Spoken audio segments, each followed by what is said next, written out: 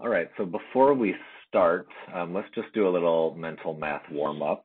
So we're going to start by counting multiples of 6, stopping at 60. So for example, we could start with, we should start with 6, 12, 18, and then let's see if you can keep going until you get to 60.